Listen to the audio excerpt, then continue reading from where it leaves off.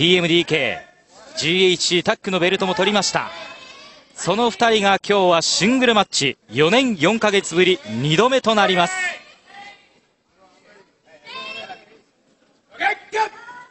今ゴングを聞きましたシェイン・ヘイストそして赤コーナーはマイキー・ニコルスノアで初めて緑のマットに立ったあの日から4年4ヶ月ぶり2度目のシングルマッチですこちらがマイキーこちらがシェイン・ヘイスト今リングの中央がっちりと組み合いました。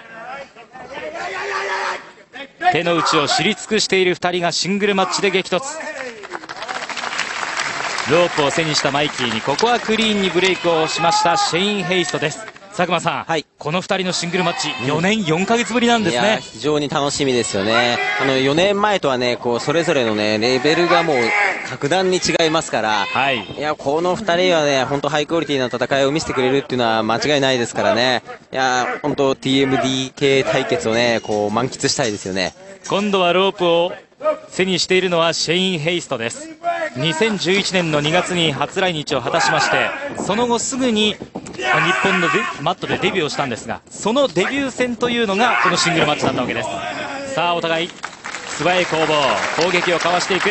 佐久間さんこの辺りはお互い手の内を知っているからの攻防ですね。そうですよね。やっぱりね普段戦うことはないですけどもう常にね相手の動きっていうのは見てきてますからね、この中でね、いかにして自分の技を決めていくかっていうところがね、こう見どころですよね。今、改めて2人が握手を交わしました。はい。まあ、この三沢さんの前で健闘を称え合ったと、誓い合ったという2人です、そうですよね。あのやっぱレスリングキャンプでね見出された2人ですから、それはね、三沢さんがハーリー・レースさんのところにいて作ったこう道筋ですからね、えー、こう恥のない戦いをしたいというね思いはね2人にもあるでしょうからね。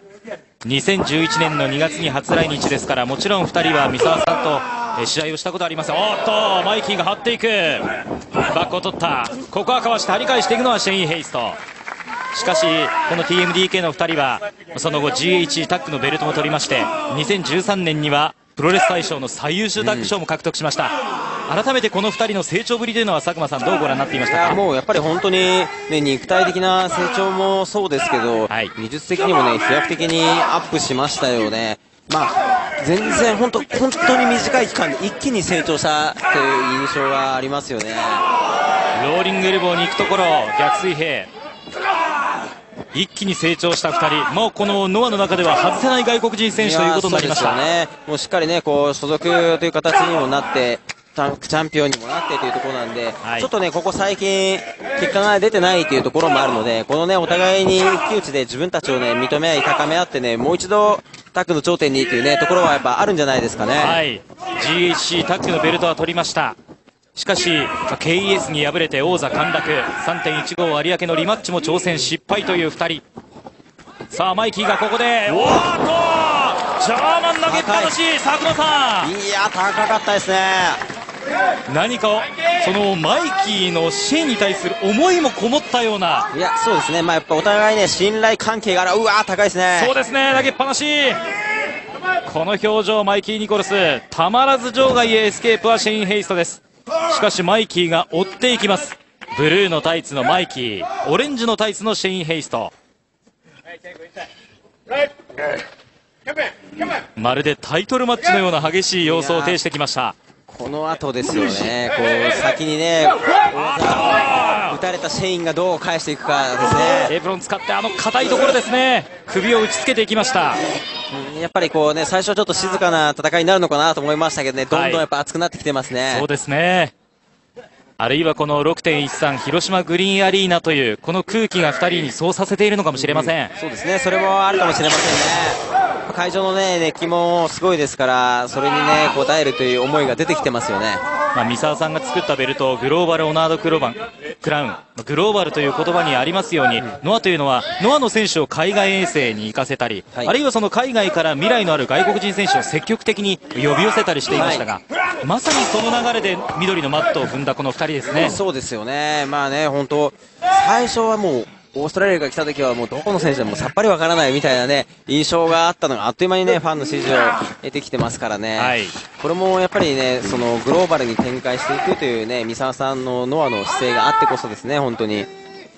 三沢さんの家が花道の奥にはあります。その前にあるこの緑のマット。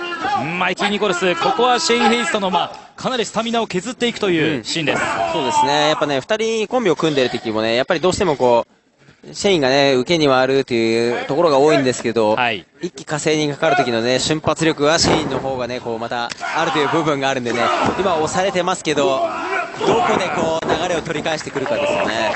さあ、ここまではマイキー・ニコルスが攻撃を仕掛けていく。カウントは2つ。シェインも返しますが、その表情がだんだんと苦しくなってきました。まあ、初期のノアといいますと、ベイダー、スコーピオに代表されるように非常に強い外国人選手がいました。その、まあ、あと、こういった若い2人が、その位置に行くということになりますよね。うん、まあ、ここの2人に関しては本当にノアが育てた、ノアで育ったというね、選手ですからね。はい、これはやっぱね、ベイダー、スコーピオのようにね、実績のあった外国人選手とまた違うので、ファンの思い入れというのもね、非常に大きな選手になりますよね。確かにそうですね。はい、このマイキーと、そしてシェインには、このノアのファンから大きな歓声が送られるという試合が非常に多くあります。さあニュートラルコーナーにマイキー・ニコルスがシェイン・ヘイストを。トップですね。そうですね。高さがある攻撃に移っていこうというところ、さあマイキー何を狙うか。なだれ式のブレーンバスターに行こうというところ。シェインはなんとかここ踏ん張りたいですね。逆転ですよこれ。そうですね、ね、バランスを崩したマイキー・ニコルス。さあここでシェインが。ああ全体重を乗せていく。フットスタンプを見せました100キロの全体重を預けていきました。右の拳を高々と上げたシェイン・ヘイスト、やっぱりシェインはこういうね躍動感のある攻撃というのがね魅力ですからね。その体の大きささらには、まあ、俊敏な動きというのも持ち合わせています、はい、馬力はねマイキーの方があるんですけど、はい、こうね跳躍を使った攻撃ですね。所有権下から勝ち上げていきました。カバニクここで一気に流れを変えたいというシェイン・ヘイストです4年4ヶ月ぶり2度目のシングルマッチ。しかしあの時とは2人を取り巻く風景が全く違います。バックを取った。おっとヒップアタック、うん、この辺は得意のムーブですね。そうですね。うわ打点が高い。美しいドロップキック。185センチ。そして類までのある運動神経。ジャンプ力からドロップキックを見舞っていきました。さあ場外での攻防。クッションがないその場外で何を見せるか？危ないブロー佐久間さんこれは？いやエプロンの硬いところですよね今ねマイキーも場外に落とされるのかね、プロに叩きつけられるのか予測ができてなかったと思うので、その分ダメージも大きくなりますね。受け身を取りづらいと。そうですね、タイミングがね、わからないですからね、どちらに叩きつけられるかという、今分かってなかったと思いますね。背中へのダメージを受けましたマイキー・ニコルス。さあ、ここからシェイン・ヘイストの時間になるか。赤コーナー。さあ、高さを出して、何を見せるか。おっと？このまま持ち上げようというところでしょうか、うん、ここは張っていくマイキー。右から左から。さあ今一度先ほどは不発に終わったなだれ式。そうですね。狙っていきます。なだれ式のブレンバスターに行こうというところ前から崩れ落ちたシェイン・ヘイスト。あしかしいや自らもねそうですね。あのトップロープからジャンプするようなしてね放っていきましたからね。さらに高さ出てましたね。攻撃を仕掛けたマイキー・ニコルスも背中へのダメージがあったか。大の字になりました。スペシャルシングルマッチ30分の一本勝負。TMDK マイキー・ニコルス対シェイン・ヘイストです。GH ダックのベルトを巻きました。さあその両者。お互いにだいぶ消耗してきましたね。そうですねこの状態でエルボーを放っていく。マイキー・ニコルス。あくまで決定的にその勝敗をつけていこうという気迫を感じます。三沢さんが見つめる前で肉弾戦エルボー合戦となりました。ここはお互い負けたくないでしょうね。そうですね。おっと膝から崩れ落ちる。マイキー。うん重たいですね。あ3連発膝をついた。あっと待っていた。シェンヘイスト膝。さあ1回目これは危険な角度で落ちた。そして抱え上げてデスバレーやられてもすぐに返していきます。いや本当にねお互いに意地の張り合いですねこれは、はい、さあ大技を繰り出してきたこの両者。先に立ち上がるのはどちらかシェイン・ヘイストかマイキーか。同じようにねダメージを負っててまだねどちらの流れというのがないですよねこれ。本当に一進一退互角の戦いですね。となると流れを変えるのは何でしょうか？いややっぱりこう一つ大きな武器お互い欲しいですね。はい。ラリアットの打ち合いかわしたバックから行く。シェイン・ヘイスト。今度は前からかわしてバックを取った。もう一度投げっぱなしだ。この後ですよね。この後連続攻撃にいけるかあラリアット1回で佐久間さん185センチのシェインが1回転しました。カウンターになってましたね今のは。なんとか2つで返しました。これはマイキーはチャンスですね。さあマイキー・ニコルス。先ほどのシーンラリアット1回転した。うわ。前に落としていくマイキーボム。シェインは返した。返しました。マイキーはもう一発ここで欲しいですよね。30分一本勝負さあスライディング式ここはかわしていきますシェイン。あーっとラリアットで返してきました、なんでしょうこういったところ意地を垣間見ますね。先ほどねすごいの食らってますからね。はい。さあ今度はシェイン・ヘイストの攻撃の時間になるかマイキー・ニコルスもなんとか踏ん張りたいところ。高い！ダイナミックボム！カマニクマイキーはどうだ？返していくお互い大技を出しても返していきます。そうですね。一発でやっぱ決まらないですよね。ここでもう一発畳みかけられればチャンスありますよ。さあシンがその右の拳を握りました。いやオレンジのタイツで拳を握ると小橋をいやーそうですね。させますね。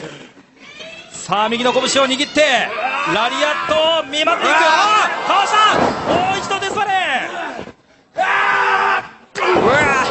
低空でのラリアット見舞っていった3つは入りません目を向いたマイキー。ならばならば何を見せるか。前に落としていく。今一度マイキーボム3つ入りました。4年4ヶ月ぶりのシングルマッチ。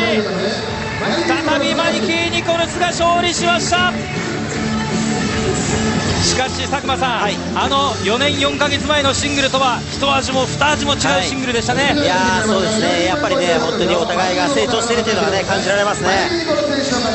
そして三沢さんの前で何かその魂のこもった攻防を見せました。今後佐久間さんがこの2人に期待するところはどんなところでしょうか？やっぱりねまたタッグ王座取り戻してもらうチャンスをね掴んでほしいですね。はい。まだ現在 GHC タッグのベルトは鈴木軍の手にあります。あるいは、まあ3度目のタイトルマッチというのがこの後実現するのかもしれません。11分56秒。あの時とは全く違った風景の中三沢さんが見つめる前でシングルマッチ。あそして今、勝ったマイキーがシェイン・ヘイスを起こしまして健闘をたたえ合いました。まあ、よりね絆が深まったかもしれませんね。がっちりと握手。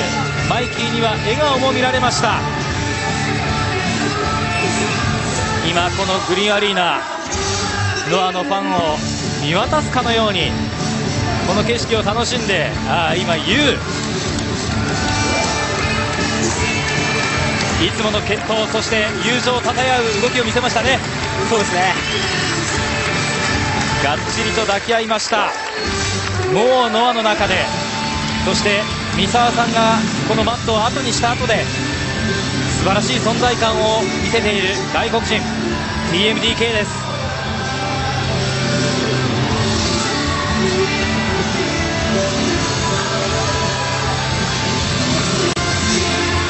シェイン・ヘイストが今ゆっくりとリングを後にしますがマイキー・ニコルスは勝利をした後いつもこの2人でね、エプロンサイドに座ってカメラの前でメッセージを送るんですが。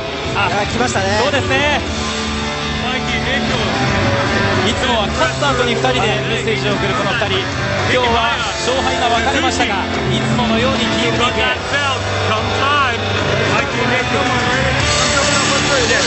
葉を交わ